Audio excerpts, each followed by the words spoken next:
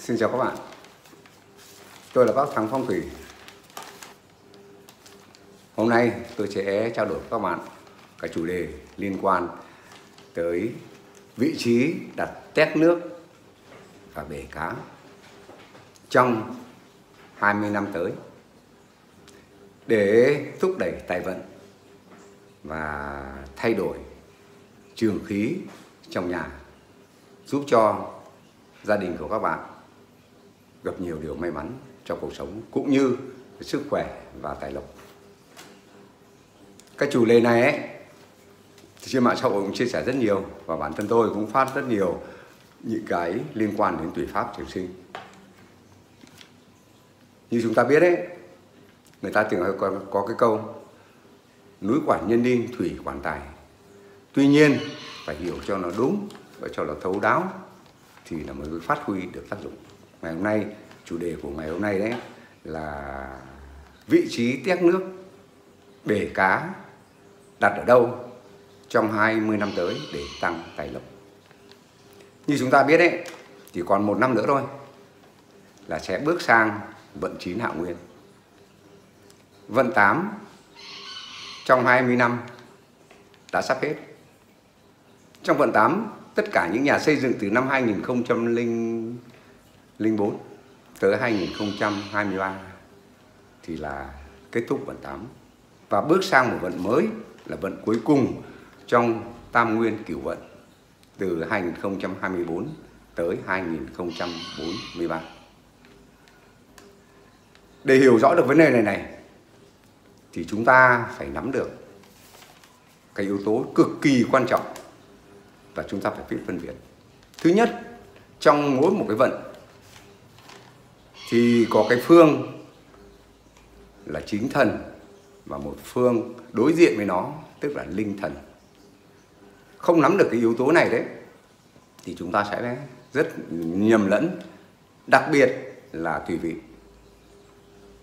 Chúng ta nên nhớ một cái câu cổ quyết này này.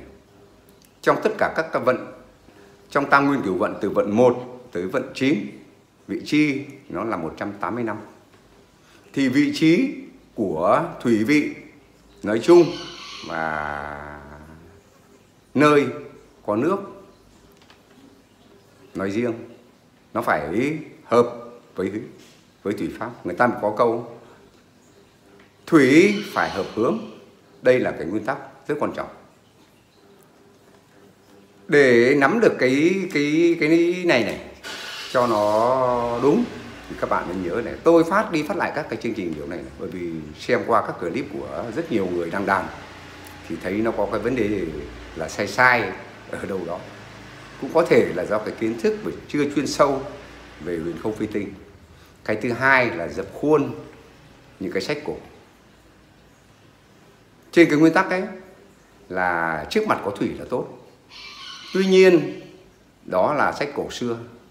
Bởi vì ngày xưa ấy, nó chưa có những cái hiện đại như bây giờ. Ngày xưa ấy, là đất cát, nó ở cái môi trường tự nhiên. Người ta chỉ cày cấy con trâu, con bò và các đồi, núi, gò, đống, mương máng, sông ngòi, nó đã có rồi. Nhưng bây giờ nó có cải tạo hoàn toàn khác cái thời đại 4.0 nó nó phát sinh ra những cái cầu vượt phát sinh nhà cao tầng, núi có khi bị xẻ ra, sông có khi bị lấp. Nó rất nhiều cái yếu tố lên nó đảo lộn. Ừ, chính vì thế mà chúng ta phải nắm được như này đặt thủy vi ấy là rất quan trọng. Cho nên hôm nay thôi, cái chủ đề của tôi chỉ gói gọn trong cái là cách đặt test nước sạch ấy, bể nước ngầm ấy, bể cá côi và nếu như trong gia đình nhỏ thì có thể để đặt bể cá để chiêu tài. trong các cái nguyên vận đấy, sẽ là quan tâm về thủy.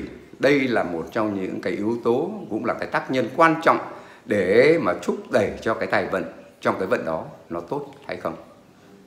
Chứ không phải nó ở thủy vị, ở các vị trí đó là vĩnh viễn. Chính vì thế đấy, vận chín ấy nên đặt ở đâu? Nước, nên đặt ở đâu? Chúng ta phải hiểu này này. Bước sang vận chín thì phía nam nó là chính thần. Các bạn phải nhớ được hai cái từ ngữ chuyên môn là chính thần và linh thần. Thì trong vận chín là chính thần ở phía nam, là khí nó tốt, khí trường ở nó tốt. Nhưng ở đó chỉ là nơi nạp khí, là nơi dẫn khí cổng cửa cửa sổ, vân vân. Chỗ nào có động thì là lấy khí ở đó còn linh thần là phương đối diện với nó, với phía nam, nó là phía bắc. Đây là linh thần. Linh thần, nó ở đó là suy tử, là khí suy rồi. Thì người ta có câu là bạt thủy nhập linh đường đấy, ngũ quỷ bạt thủy nhập linh đường thì ở phía bắc. Nó là linh thần, thì nó mới lại cần có thủy thì phát tài chính thần mà có thủy thì phá tài, mà linh thần có thủy thì phát tài. Cũng sẽ có người hỏi này này, nếu như nhà hướng nam mà là có minh đường tụ thủy thì nó phải tốt chứ? Tuy nhiên phải hiểu, bất kể các hướng nào, có thủy không phải nó là tốt hay là xấu, mà nó phụ thuộc vào vận thủy nó phải phụ, phụ thuộc vào vận. Đấy, cho người gọi là thủy phải hợp với cái hướng. Thì riêng trong cái vận chín này là những từ vận 8 lùi về trước thì ở phía nam có thủy là tốt với điều kiện nhà đó là vượng sơn vượng hướng hay cái nhà đó là song tinh đao hướng thì nó sẽ tốt. Chính vì vậy mà phải nghiên cứu rất thấu đáo. Cho nên để cho các bạn nắm được nó, nguyên tắc như này này. Trong 180 năm đấy, thì mỗi vận, mỗi một tiểu vận là 20 năm. Thì người ta quy định như này. Từ vận một chẳng hạn thì là chính thần, thì nó ở phía bắc mà linh thần nó ở phía nam. Vận 2 là chính thần ở phía tây nam và linh thần nó ở đông bắc. Vận 3 là chính thần ở phía đông và linh thần nó ở phía tây. Vận 4 nó là chính thần ở đông nam và linh thần nó ở tây bắc vận 5 thì nó phụ thuộc vào 10 năm nó ở vận 4 và 10 năm sau nó ở vận 6 vận 7 vận 6 thì là chính thần ở tây bắc mà linh thần nó ở đông nam. Vận 7 là chính thần ở phía tây, linh thần ở phía đông. Vận 8 là chính thần đông bắc và linh thần phía tây nam. Và cuối cùng là vận 9 chính thần ở phía nam và linh thần ở phía bắc. Sau đó nó lại trở lại vận một và quy trình, quỹ đạo của nó vẫn như thế, là trong tam nguyên cửu vận, trong 180 năm. Vì thế, mỗi vận, mỗi khác. Đầu tiên ấy, phải biết được cái phương linh thần, và nó là phương suy, thì ở đó phải có thủy. Tôi nói gần đây nhất thôi. Ví dụ là trong vận 7 từ năm 1984 tới 2003 thì chính thần là phía tây, là kỵ thủy, mà linh thần nó là ở phía đông. Mà vận 8 từ 2004 tới 2023 thì chính thần ở đông bắc là kỵ có thủy, mà linh thần là nên đặt thủy vị ở tây nam. Và bữa vận 9 thì chính thần phía nam kỵ thủy và linh thần là phía bắc cần thủy. Cho nên trong cái vận trí này này có hai vị trí tốt nhất là để tét nước tức là nước ở trên uh, trên tầng ấy. Cái thứ hai là cái vị trí đặt bể cá cá trong nhà. Nếu gia đình nào có điều kiện rộng rãi thì đặt bể cá côi ở ngoài tùy theo cái hướng nhà mà quyết định. Thì trong cái vận trí này này là hứa nơi đặt thủy vị tốt nhất là phía bắc, nó là linh thần. Phương thứ hai, nó là phương chiếu thần. Cái chiếu thần ở đây đấy, thì nó ở đông nam. Thì theo cái khẩu quyết là nhất lục cộng tông. Nhị thất là bằng tam bát là hữu tứ cửu đồng đường. Tức là gì? Một và sáu, hai và bảy, ba và tám, bốn và chín. Trong vận chín này thì ở hướng nam nó là sao số 9 theo số lạc thư nó là số 9 mà tương hợp với nó là số 4 là ở phía đông nam, là tứ cửu thì nó biến thành kim. Cho nên đó cũng là phương chiếu thần, đồng thời đó cũng là phương thành môn quyết. Cho nên ở hai vị trí tốt nhất mà trong cái 20 năm tới nên để tét nước, hồ cá hoặc là bể cá cảnh ở vị trí bắc và vị trí đông nam. Ở đây cũng nhắc nhở cho các bạn mình hiểu này, này rất nhiều các cái thầy cũng có tên có tuổi hay bị nhầm lẫn là linh thần chính thần chiếu thần và sao đương vận nhầm lẫn cái này thì nó sai từ A đến Z luôn đây là cái phương hướng mà nạp khí là chính thần là nạp khí, linh thần là nơi suy tử rồi. Còn sao? Người ta chia ra là sao đương vận và sao sinh khí, sao tử khí và suy khí. Duy nhất nói về sao thì nó phụ thuộc vào cái tọa hướng của cái nhà đó. Nó hướng tinh của cái tổ hợp đó, nó là con sao gì? Nếu như nó là con sao đương vận, trong vận 8 này, nó là con sao số 8 số 9 là sao số 1 đấy là sao đương vận. Và sao sinh khí thì cần phải có thủy. Nhưng ngược lại, cái hướng tinh ấy, của cái hướng nào đó mà nó có con sao suy tử là sao số 3 sao số 4 sao số 5 sao số 6 và sao số 7 thì đó là sao suy tử rồi thì đặc biệt ở những cái phương có sao suy tử mà lại thấy thủy thì lại đại bại luôn. Bởi vậy thì đây là những cái khái niệm mà rất nhiều người không nghiên cứu sâu về huyền không vi tinh đấy hay bị nhầm lẫn. Giữa chính thần và sao đương vận. Để áp dụng cái này vào đấy để gọi là về thủy pháp trường sinh à, thủy thu vào hay là tiêu đi, đều áp dụng vào cái phương pháp đó. Tiêu thủy thì nên đặt ở những cái vị trí sao suy tử, mà nạp thủy thì nên ở những cái sao sự đương vận và sao sinh khí. Chính vì thế, ngày hôm nay tôi mới đưa cho các bạn và cho có một khái niệm này. Chứ tránh cái trường hợp là cứ thấy thủy là hoan hô là có thể đặt bể cá vô tội vạ được. Trong từ vận 1 đến vận vận chín ấy, thì cái vận chín này này là một trong những cái vận không có hướng nhà lý tưởng đâu. Cho dù là chiều hướng tọa hướng gì nào chỉ có duy nhất có hai hai dạng. Là vượng sơn à, song tinh đáo hướng và song tinh đáo tọa. Và có hai cái hướng là thượng sơn hạ thủy đinh tài điều bại phạm phục ngâm toàn bàn là tọa nhâm hướng bính và tọa bính hướng nhâm. Đó là những cái áp dụng vào trong cái vận trí này. Thì các bạn nên nhớ nó không có hướng nhà lý tưởng như trong vận 8 đâu, hay vận 7 vận 8 đâu. Ở vận 8 nó có 6 hướng nhà, vượng sơn, vượng hướng, đinh tài đứng đắc. Nhưng trong vận này nó không có.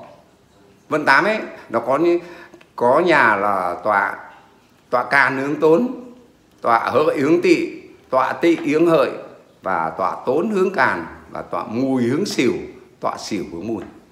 Nhưng sang vận chín không có. Cho nên lập hướng của trong vận chín rất khó. Chính vì vậy hôm nay tôi đưa ra cái clip này để các bạn là thúc tài bằng cái chiêu thức đã đặt tét nước ở trên ấy.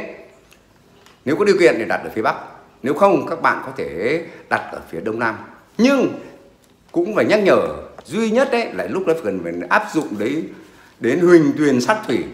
Trong đó nếu như nhà tọa tân hướng ất và tọa à, nhâm hướng bính thì phải nhớ là nhà đó nhà tọa à, à, nhà hướng ất bính thì gọi là ất bính su phòng tốn thủy tiêu thì đúng ở sơn tốn của phía đông nam là không được đặt tùy vị bởi vì hướng đông nam nó có ba sơn là thìn, tốn tị thì các bạn phải tránh đặt ở chính sơn tốn. Với điều kiện nhà bạn là hướng ất và hướng bính, thì phải dịch trong hai cái sơn đó, thì phải dịch, không được để thủy vị ở chính phía tốn của hướng đông nam.